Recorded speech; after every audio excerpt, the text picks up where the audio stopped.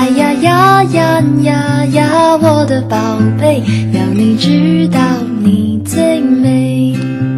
Hello，大家好，欢迎收看财经急诊室，我是彩莹。今天请到轮源投顾张大文张大师老师好。彩英好，投资朋友大家好。美加达成贸易协定后，造成美美股上扬，而台股却未沾喜，昨日还下跌百点。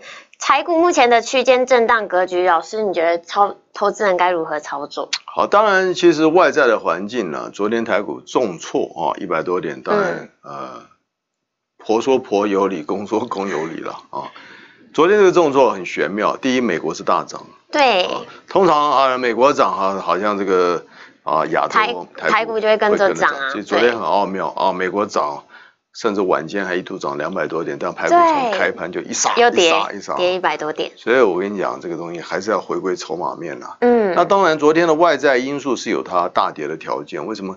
因为美国的大涨，当然美国大家知道，今年要年底前要持续的这个调升利息，哈，，Federal Run Fund 要持续调调升它的利率。嗯，所以昨天是一个亚洲的资金回流到美国本土哦啊，是一个资金的回流。所以昨天美国呃这个股市大涨，然后亚洲资金串流，所以昨天不是说台湾跌啊，香港重挫，对香港韩国重挫，嗯那尤其台币还重贬，对啊一角新台币之多嗯，所以外资昨天在卖一百多亿，坦白讲。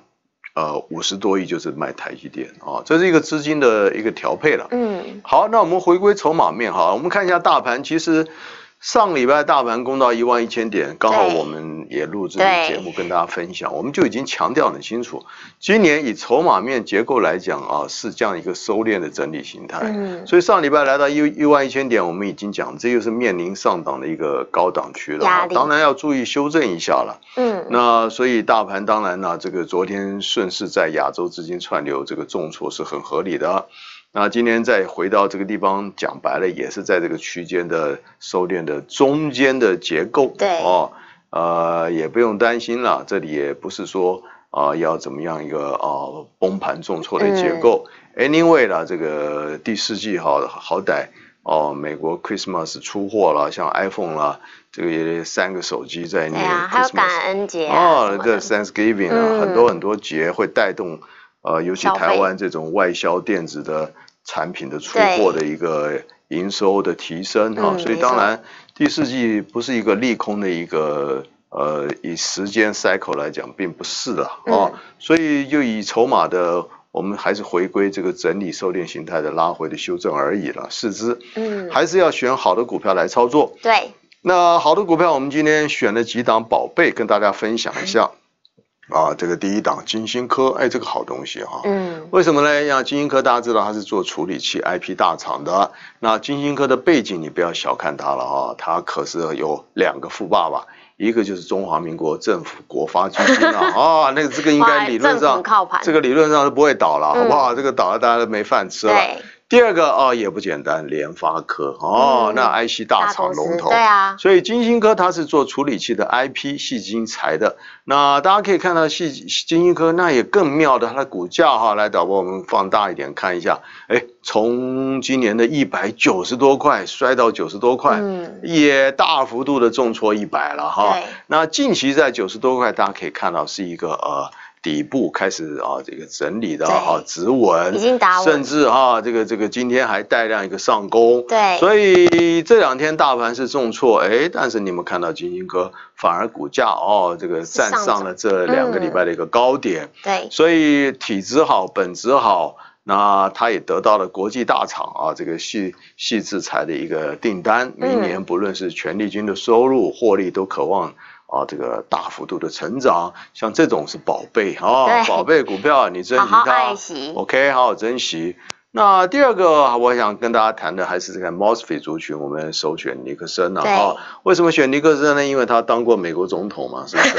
啊，哈哈开玩笑的了哈。那这样的话，我们选林肯不就好了对啊？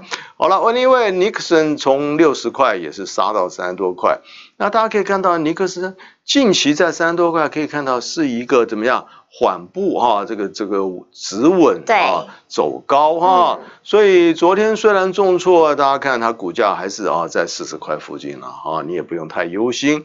那不管怎么样，MOSFET 的缺货，涨价的一个题材还是持续的发酵。嗯。那下面这个地方看到量也逐步的增加，所以这里开始都有啊这个价量齐扬，有人在底部的一个对。买进，所以像尼克森啊体质好，本质好，筹码面也 OK。啊，只要也值得你好好的去珍惜。嗯啊，再来一档哦，TPK 哈也更可爱啦。大家看看今年从一百多块摔到四十多块，够惨了吧？嗯好不好？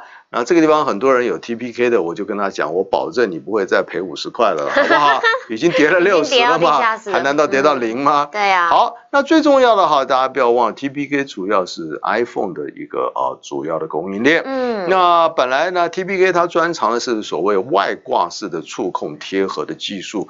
那前几年因为 iPhone 采用内嵌式的，所以就舍弃了外挂式，所以造成它的营收获利的衰退。但今年 iPhone 重新推出的三款新的手机，通通是采用。回归到原来外挂式的贴合的技术，那这就是 TPK 拿手的地方，所以它重新得到了 iPhone 的青睐，重新夺回了贴合的订啊嗯订单，对不对？那这个老公重新回到大老、啊大老婆身边了哈，把小三一脚踹开了，所以大老婆现在 又又就这个飞上凤凰之头了。，对啊，所以 TPK 在底部这个地方，大家可以看到哦，最近我们放大一点，对不对？在五十块这里哦，居民都有量哦。嗯所以五十块附近的 T B K 啊，大家倒是可以值得注意啊，一个这个逢低的一个介入的操作，好不好？这就是对大盘的结构，那以及对几档宝贝股，好吧？我们今天送给大家的三三宝贝啊，希望大家能够啊一起来分享，把握一个赚钱的一个机会。啊，感谢老师精彩的分析。想知道更多最新消息，欢迎加入老师的 Light 财经记者室。我们下次见，拜拜。